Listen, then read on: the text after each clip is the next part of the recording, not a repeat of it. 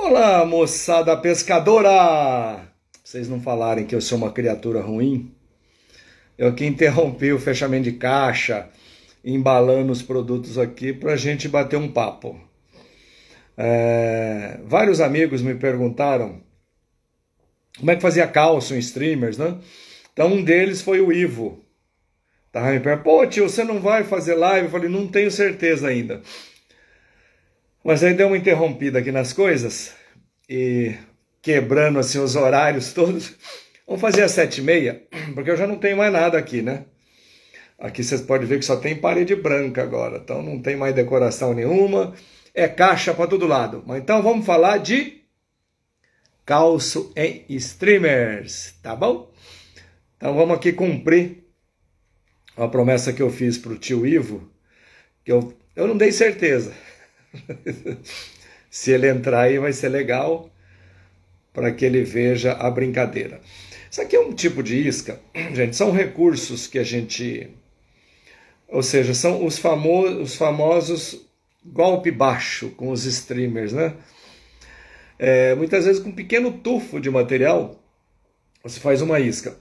Então eu quero fazer esse streamer aqui em homenagem a uma pessoa principalmente ao Gerson Cavamoto, que partiu antes do combinado, resolveu pescar lá no céu, né? Então, ele é que sempre discutiu isso comigo, me deu essas dicas. E depois a gente, quando a gente vê uma primeira vez, a gente vai atrás, vai pesquisar e vê que tem muito mais dicas sobre o mesmo tema do que a gente imagina, né? Então, nada mais é do que calçar um streamer. Aí vocês vão ver que tem umas tags que chamam assim bulk, Outras, que chama hollow, que é a forma de fechamento da cabeça. Essa técnica que eu vou mostrar para vocês são duas dicas importantíssimas. Se vocês quiserem colocar nome nas técnicas, vocês colocam. Senão vocês falam é calço. Olha aqui, ó. Eu peguei um anzol Maruri, um 2/0 da Pinnacle. Oi, Oriô, bem-vindo aí.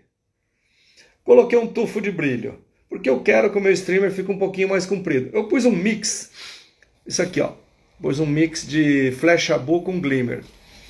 Pus um tufo lá no meio e coloquei aqui agora, avancei a minha linha de atar, coloquei um tufo desse material aqui ó, é um material novo, quer dizer, o material já existe, só não tinha essa cor.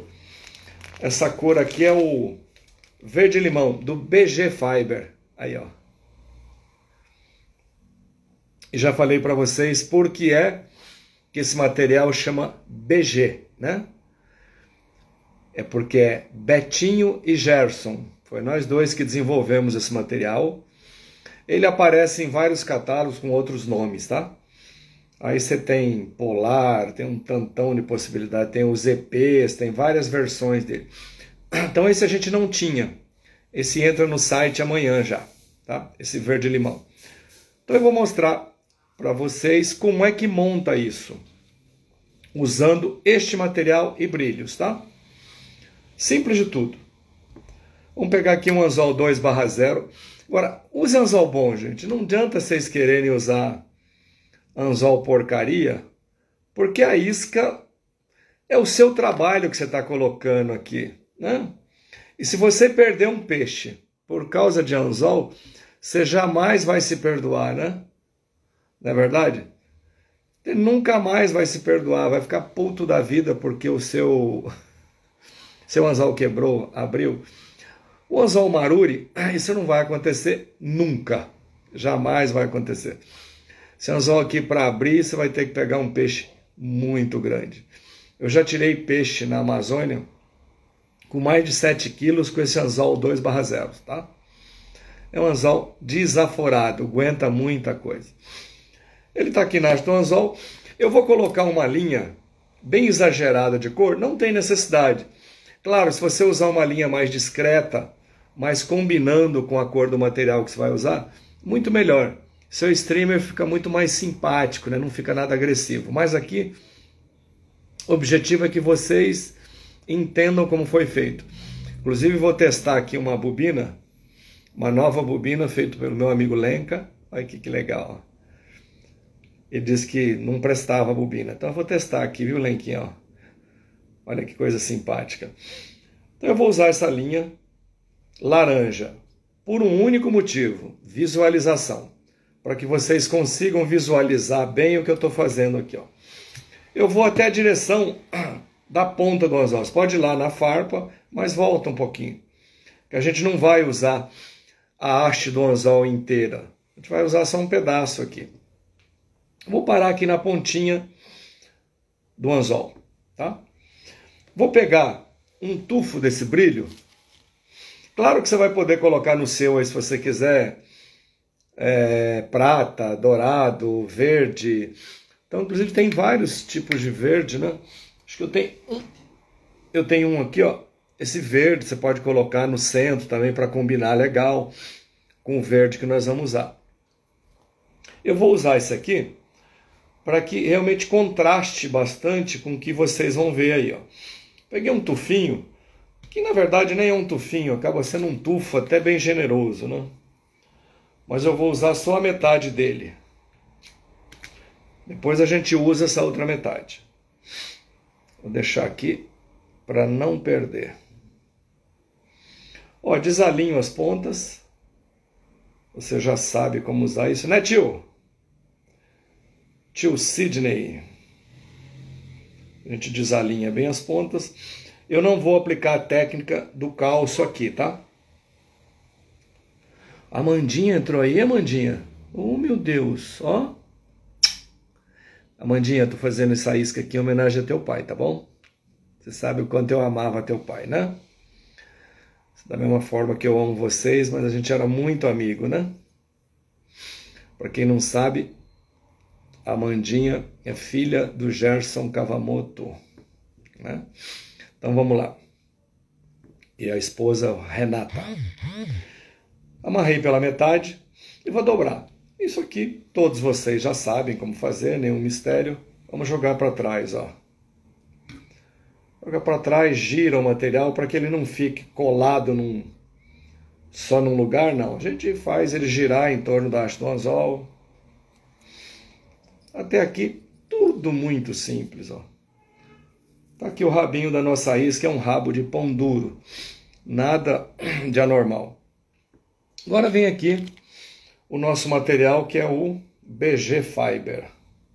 Opa! Esse é o mesmo material que a gente faz strike indicator, ou indicador de picada, faz parachute, faz um monte de coisas, tá? Vou pegar um tufo, vou cortar ao meio esse tufo. Vou querer usar um pouquinho mais de volume. Agora começam as brincadeiras, ó. Você desalinha. Então tem aqui, ó. Os dois lados estão iguais. A técnica original manda cortar esse tufo aqui e deixar ele retinho aqui. Então eu vou fazer um desse jeito e o outro do meu jeito, da famosa gambiarra, tá? Ó, cortei. Eu vou colocar este material nesta posição aqui, ó. Ele vai ficar aqui sobre o brilho, vai estar tá dando acabamento no brilho. Só que depois, como esse material vai estar tá amarrado para frente, quando a gente deitar esse material para cá, eu vou querer colocar um dorso. Então, por que não fazer tudo de uma vez? Hã? Internet está ruim aí, tio? Então, vou fazer, pegar o seguinte, eu quero fazer um dorso multicor. Vou pegar um tufinho aqui. Cortei um tufo. Vou cortar no meio que não queremos ele compridão. Né? Olha só. Você desalinha as pontas dele. Então nós temos aqui os dois lados iguais, ó, desalinhados. Você vai poder, poderia usar ele do jeito que está aqui, ou, como a técnica manda usar, você corta e deixa reto aqui também. Ó. Olha, as duas formas estão maravilhosas para você usar. Uma você tem mais volume e a outra menos volume, tá? Ó. amarrei o brilho para frente. O nosso material que vai fazer a, o corpo da isca está aqui. Vamos colocar no mesmo lugar. Então é muito simples, não tem nenhum grande complicador. Espalha um pouquinho, para não ficar muito chapado só no dorso, né? Mas fala assim, mas e a hora que eu dobrar, não tem nada por baixo, né? Não dá para eu já colocar alguma coisa nesse momento? Dá. Lembra que sobrou um tufinho aqui, ó, do nosso brilho? Não vai colocar compridão, coloca curtinho. Dobra ao meio, a gente vai reciclando tudo, não? Desalinha. Para respeitar a mesma técnica que a gente está usando, você corta essa sobra para deixar reto. E vamos por baixo. Se a sua morsa é giratória como a minha, a sua vida está facilitada. Se ela não for giratória, você vai ter que desmontar aqui, trocar, mudar o anzol de ângulo, ou liga imediatamente para o tio Betinho para comprar uma morsa dessa. Ou entra lá no site, tá bom? Acho que ainda tem lá umas quatro peças. Tá aqui. Fizemos essa amarração aqui. E nada além, não tem grande complicador aqui. Para garantir que isso aqui vai ficar legal, você pode fazer assim, ó. Você pode dar um nó aqui no meio.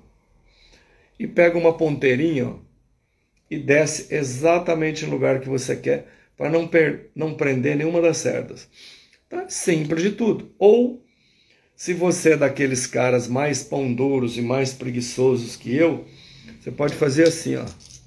Pode pegar um pouco de cola, ó. Pode pegar um pouco de cola e passar aqui na linha, ó. Nada além disso.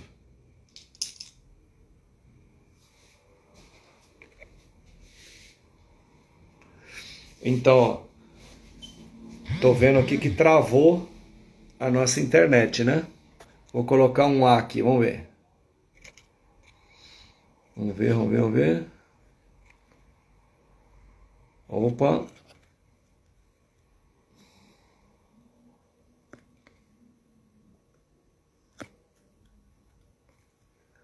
Nossa internet está travada. Internet travada. Vamos ver. Está destravando. Quando internet resolve dar problema, meu Deus do céu. Então vamos lá, vamos esperar ela destravar. Tá voltando aí? Voltou? vamos ver se a minha voltou aqui também. Vamos ver. Acho que tá voltando. Tá voltando aí, Zé Maria? Tá, tá. Chegando normal agora? Então tá bom. A minha que deu uma travada aqui. Então, ó, eu passei cola. Para quem não viu, eu passei cola na linha aqui, ó. Para que a gente não tenha problema da nossa isca desmanchar, ó. Tá feito, nem precisaria mais dar nó aqui, ó. Voltei a minha morsa na posição, ó. E eu vou jogar todo esse material agora para trás, ó. O verde está por cima, o transparente por baixo, ó. e o multicor do nosso brilho está por cima. Meu aqui fugiu um pouquinho, mas tá bom ainda. Ó. Vou lá na frente. Ao invés de eu amarrar, vir para cima do material amarrando, ó, eu vou calçando isso aqui, ó eu encosto a minha linha de atar. Por isso é que eu estou utilizando um fio de uma cor bem exótica para que você visualize isso aqui. Ó. Só estou calçando. Então todo o nosso streamer ele já foi amarrado lá no centro e agora ele foi calçado aqui na frente. Aí você fala, bom, Betinho, mas não vai ficar legal esse negócio. você pode de novo aplicar o mesmo golpe, ó, pegar cola, passar aqui, ou passar na linha. Olha que tranquilidade. Puxa tudo para trás. E quando você remontar a linha de ataque, a linha não vai escorrer. Ela vai ficar fixa aqui, ó. Então a nossa isca está praticamente pronta, né? Não tem nenhum grande mistério. Mas poderia me perguntar, ah, mas se eu quiser colocar mais material, poderia? Poderia, só que aqui nós já finalizamos, né? Então deixa, é, você coloca primeiro o brilho, depois você pode colocar um tufo, dois tufos, quantos tufos você quiser. Agora faz é, de maneira que numa única virada você trave a cabeça da sua isca. Se você quiser fazer calços ao longo da haste do anzol, é um jeito de você fazer também. A isca fica mais volumosa, mais compacta, né? Tudo isso vai do gosto de cada um. Então aqui está feito, a gente finaliza a nossa isca uma cabecinha bonitinha aqui. E pode pegar o Whip Finisher, não? Não vou ensinar a usar isso aqui, porque lá no site, lá na, no canal Betinho Oliveira Oficial, tem o passo a passo, tem em slow motion te mostrando como usar isso aqui. Ó. Essa ferramentinha também está à venda na loja do betinho.com.br, tá? Inclusive tem kit de ferramenta lá. Quem quiser um kit de ferramenta, tem todas essas bobinas, essas ponteiras para passar cola.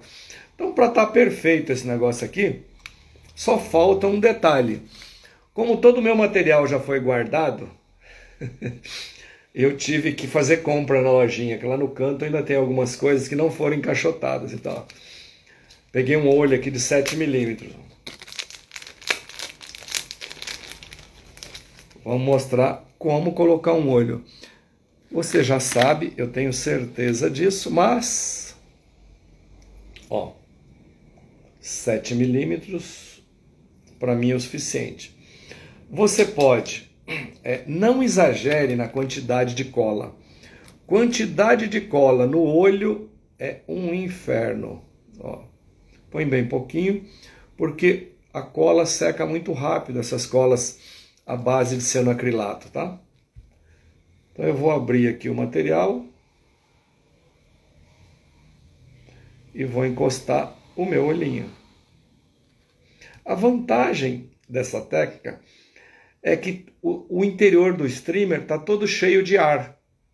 Então ele cria uma bolha muito grande. Ô Jack, isso aqui desses olhos tem desde o 3 milímetros até 12, viu? Tá lá na loja do betinho.com.br.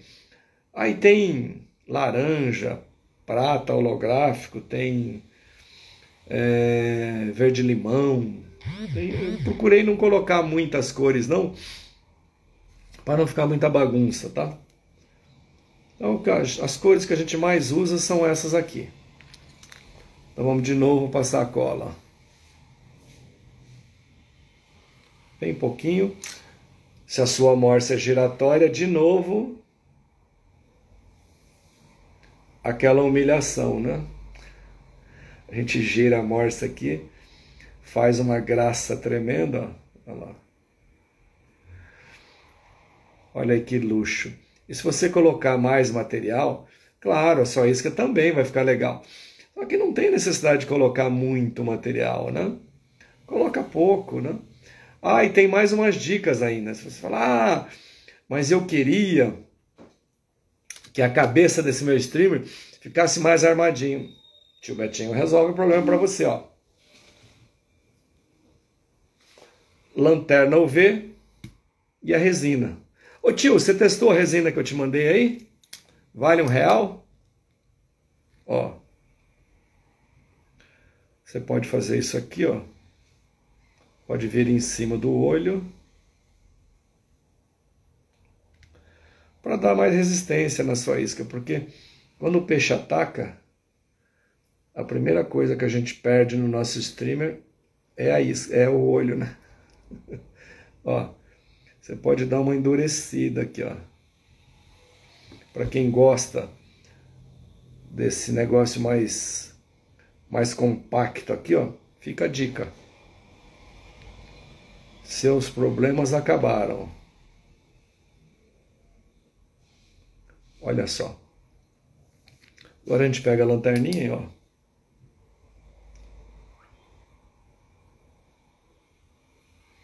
Essa lanterna UV. Ó, já está quase seco. Já no toque a gente já percebe, ó.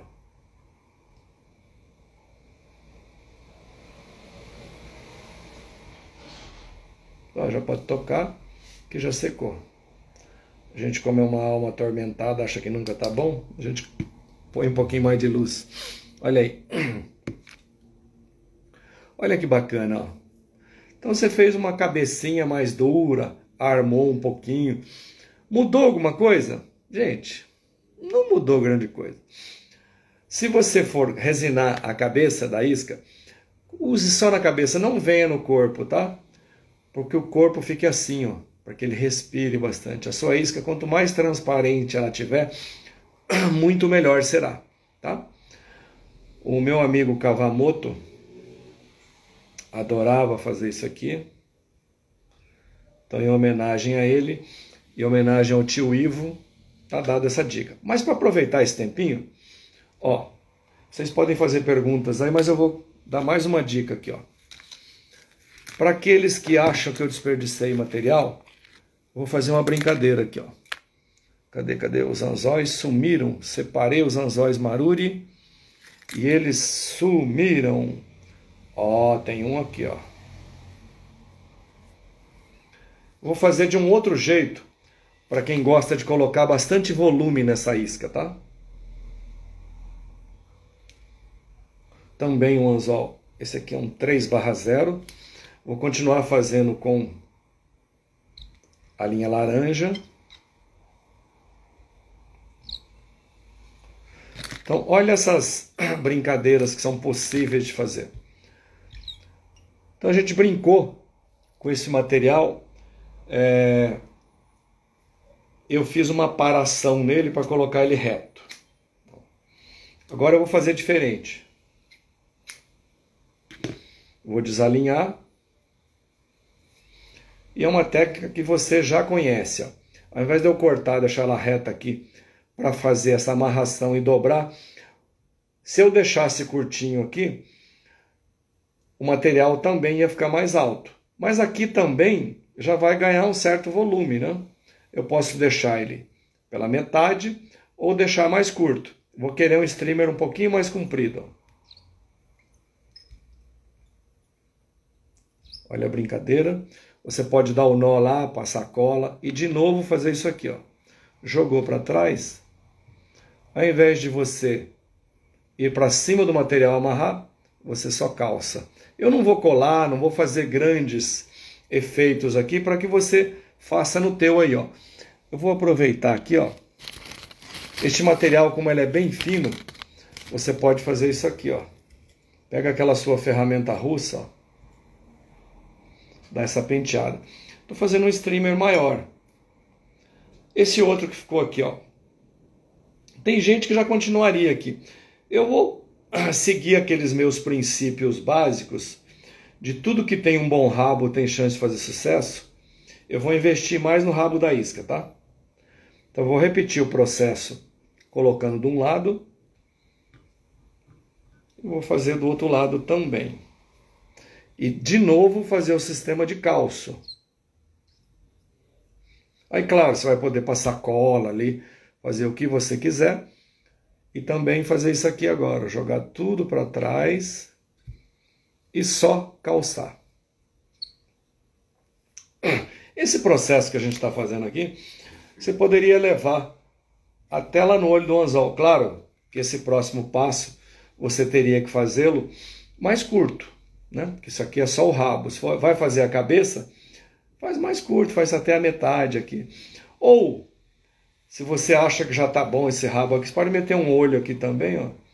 O streamer já estaria pronto. Mas é uma técnica de calços para que você levante o seu material, né?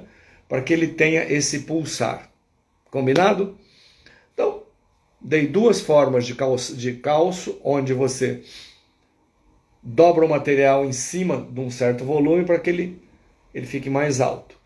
E o outro, o fechamento. Ao invés de você vir para cima do material aqui amarrando, você somente calça ele. Então é muito fácil de fazer, divertido. Dá para você fazer com os brilhos, né? muito material brilhante, dá para fazer isso aqui, é muito prático. É uma isca muito legal também de você fazer para pescar robalo. Você põe pouquíssimo material e ela respira muito, né? Um material de fácil respiração, porque o robalo ele é muito arredio. Eu gosto muito de quando eu puxo o meu streamer, eu movimento um pouquinho a ponta da vara. Este movimento de ponta de vara muito sutil, se a sua isca for delicada, ela vai respirar lá. Isso para o robalo é interessante, né? Então, não deixe de usar esses artifícios, essas artimanhas, é, ou um amigo, como diz lá do interior, essas mumunhas. tá bom? Então, o que mais eu poderia dizer para vocês? Eu não sei se na próxima semana a gente ainda estará aqui, mas se você estiver vendo essa live aqui, muito provavelmente quem assistir depois, provavelmente já estaremos na cidade de Botucatu, tá? A loja muito maior, espaço muito maior e o atendimento será também muito bom. Combinado? Alguma pergunta aí? Vou colocar um, um azinho aqui para ver se alguém tem alguma pergunta.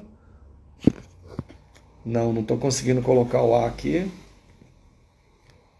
Não consegui. Deixa eu ver se eu consigo colocar um comentário. Não, não estou conseguindo, gente. Mas não é por problema aqui, é problema meu. É, eu sou meio analfabeto digital. Me perdoe. Tá então, ó, essa dica aqui a gente vai salvar, vai colocar lá no canal Betinho Oliveira Oficial. E também quem faz parte dos grupos de WhatsApp, vou mandar o link para vocês assistirem. Tá bom? Bom, Lenquinha? Vou mandar esse link para vocês também. E qualquer dúvida que vocês tenham, por gentileza, não tenham vergonha de perguntar, compartilhar. É, tio Betinho está aqui para ajudar. Meu intuito é que você faça suas iscas e muito melhores que as minhas, tá? Então, fica com Deus aí. Tenha somente alegrias e boas coisas. Ah, se você quiser participar do grupo do WhatsApp, pode entrar lá no site lojadobetinho.com.br. Tem um QR Code lá, você captura, você já está inscrito no grupo. São dicas semanais que eu mando, tá? É, ah, inclusive editei um vídeo aqui só de iscas pequenininhas que vocês vão receber essa semana ainda, tá? São iscas que pequenas para pescar lambari, tilápia, que o Ari, um cheiro para você também, viu? O Ari, um amigo meu que eu amo demais, que é um cara que é um verdadeiro tesouro. Ele levou essas iscas para o Canadá e fotografou lá. Agora ele voltou e começou a me compartilhar essas iscas. São tantas fotos que eu não acho justo mostrar uma só. Então eu fiz um clipe para mostrar para vocês essas pequenas iscas fotografadas pelo meu amigo Ari. Loja do Betinho.com.br tem todos esses materiais. É, o canal Loja do Betinho, é, desculpa, Betinho Oliveira Oficial. Que mais? Que eu puder ajudar vocês, contem comigo. Alguém quiser falar comigo, por acaso quiser que eu inclua você no grupo, só ligar no 11 99 132 6133. Tá bom? E não deixa de assistir Arte do Atado na Fish TV. Toda terça-feira, às 20 horas e 30. Combinado? Abração. Tchau, tchau.